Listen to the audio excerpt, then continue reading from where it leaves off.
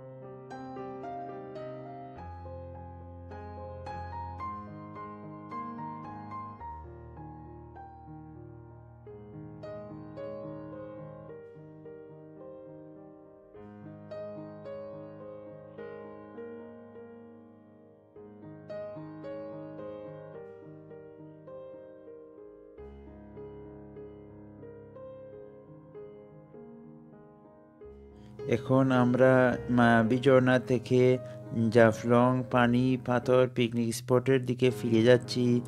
এটি ইন্ডিয়ার পাহাড়, ইন্ডিয়ার বাড়িঘর এখানে অবস্থিত। এই ইন্ডিয়ার পাহাড় থেকেই মায়াবী ঝর্ণার পানি নেমে আসে। এই দেখেন এখানে বালুর মরুভূমির মতো। এখানে বর্ষাকালে অনেক পানি থাকে।